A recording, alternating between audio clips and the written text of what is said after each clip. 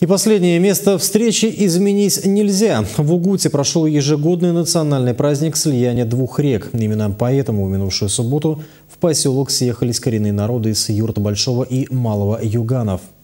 За всем, что происходило на национальном празднике Ханты, наблюдала наша съемочная группа.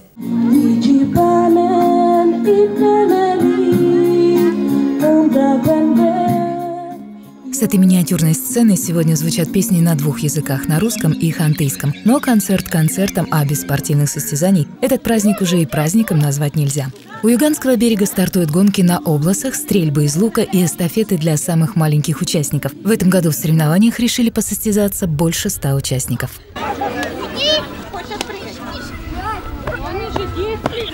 Тех, кто уже отстрелялся и отбегался, в честь праздника хозяева угощают пирогами, чаем и горячей ухой.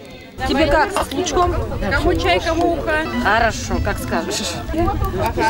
Кому еще ушицы?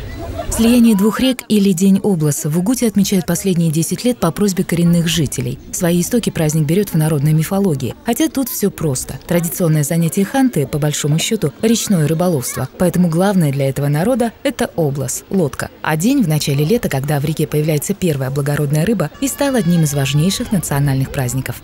Раньше этот праздник же не День обласа был вообще-то, а слет охотников и рыбаков был праздник. Давно на этот праздник не ездила. И ну, в этот раз я решила съездить, посмотреть, людей повидать. Среди гостей целые семьи практически со всех юрт Большого и Малого Югана. Каюковы, Ачимовы, Коганчины, Кинямины и другие. Некоторые приехали просто повидаться, ведь расстояния между ними не шуточные, и просто так в гости не съездишь. Но есть люди, которые не могут приехать, потому что до самых дальних юрт, которые у нас проживают, где проживают коренные жители, от Угода больше тысячи километров по воде. Естественно, что они не могут э, приехать. Тем не менее, пропустить такой важный праздник большинство семей посчитало недопустимым.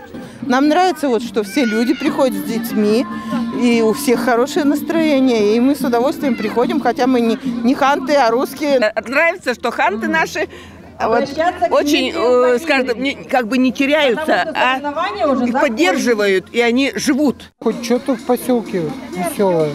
Мы же вдалеке, глушь у нас. Ни дороги, ничего нет. А это хоть развлечения какие-то.